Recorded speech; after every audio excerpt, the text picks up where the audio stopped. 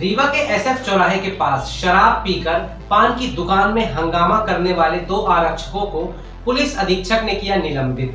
रीवा के सिटी कोतवाली में हुई थी शिकायत। वायरल वीडियो के चलते हुई कार्यवाही निलंबन के दौरान मुख्यालय रक्षित केंद्र में रहेंगे। रीवा के एसएफ चौराहे के पास शराब पीकर पान की दुकान में हंगामा करने वाले दो आरक्षकों को पुलिस अधीक्षक ने किया निलंबित। रीवा के सिटी कोतवाली में हुई थी शिकायत। वायरल वीडियो के चलते हुई कार्रवाई। निलंबन के दौरान मुख्यालय रक्षित केंद्र में रहेगा।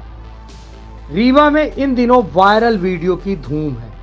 समय समय पर काफ़ी वायरल वीडियो हुए हैं, जिन्होंने सोशल मीडिया में काफ़ी धूम मचाई।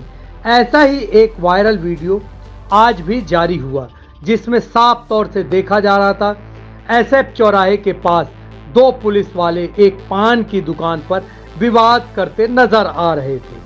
रीवा के एसएफ चौराहे के पास शराब पीकर हंगामा करने वाले दोनों आरक्षक को पुलिस अधीक्षक ने निलंबित कर दिया है। घटना बीती रात सिटी कोतवाली थाना क्षेत्र के एसएफ चौराहे में पान की दुकान में। पुलिस आरक्षक शंकर साकेत एवं शुभम सिंह परिहार ने जमकर हंगामा किया। दोनों आरक्षक शराब के नशे में थे। दुकानदार से सिगरेट मांग रहे थे और पैसा ना देने की बात कर रहे थे। पैसा मांगने वाले दुकानदार के साथ जमकर गाली गलौज करने, मारने की धमकी दे रहे थे दोनों आरक्षक। कल दो आरक्षकों का एक वीडियो वायरल हुआ है। ये पुलिस अधीक्षक महोदय के संज्ञान में आया और जब वायरल वीडियो जब देखा गया, उसमें आरक्षक शंकर साकेत और दूसरा आरक्षक शुभम सिंह परिहार।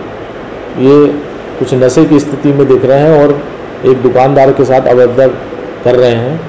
ये पुलिस के आचरण के सिद्धांत के विरुद्ध उनका कृत्य पाया गया है और जिससे उनके विरुद्ध जो है कार्रवाई करते हुए तत्काल निलंबित किया गया है और जाँच आदेशित की जाएगी। जाँच उपरांत जो है उनके विरुद्ध कठोर कार्रवाई की जाएगी।